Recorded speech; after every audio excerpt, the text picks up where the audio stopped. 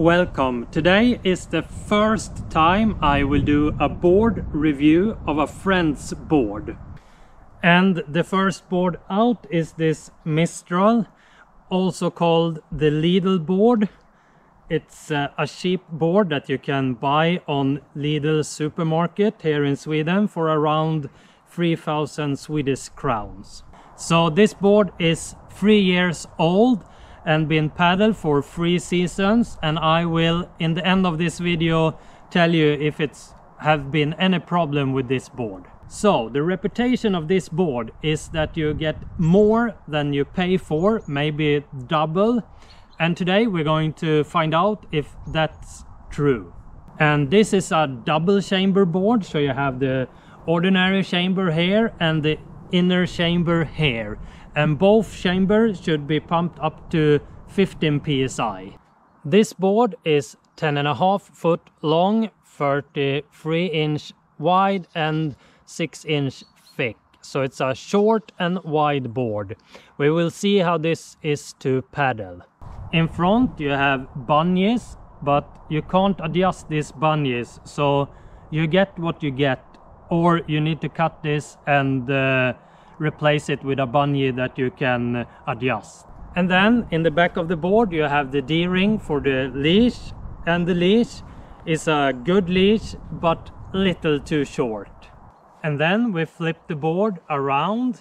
Here in the front you have a toe ring and here we have a free fin system, two small fins and one bigger. This is not the original fin, it's uh, broke and was replaced with this fin. This board gets wide really quickly and then it's wide the whole length of the board and the back is also wide. So this is going to be a stable board but also slow to paddle. It's also a slight bend in the nose and then it's completely flat like all iSUPs. And when it comes to the backpack that you get with this board, it's what I expected to get for this low price point. It's not so padded, it's no wheels, it's a thin backpack, but still it's really good and works okay. The pump that comes with this board is a double action pump with a deflate function. It sounds very fancy, but it's actually hard to pump and you also have a narrow grip and a narrow stand and the pump is short so the ergonomic of this pump it's bad. Give this video a like and show me that you really appreciate this work with these videos. Thank you very much. Let's go down to the river and paddle this board. When we're walking down to the river we can feel that the handle is really well balanced for this board. So that's good. We start with a glide and the speed of this board I thought this board would be really slow, almost sluggish, but it's faster than I thought. It's still slow, but for this board length and width, it's fast. Tracking. Tracking is bad, really bad. I have expected more of this free fin system board, but it tracks really bad. The good thing is that it's really easy to maneuver. So bad tracking, easy maneuver. When it comes to stability, this is really a beginner board because it's so, so stable, really stable.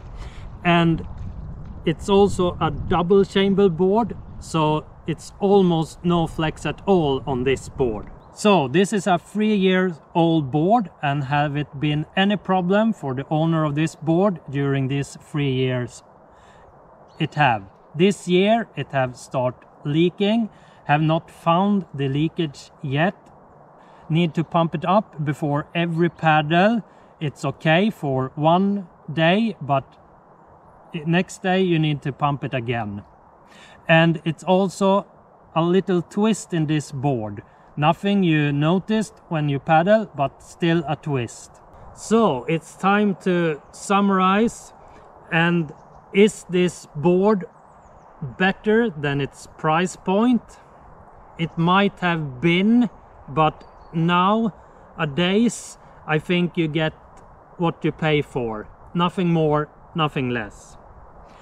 It paddle little faster than I thought. It's stable as you can expect and it's a really good beginner board but for me I would have maybe gone up in price and get a little more quality.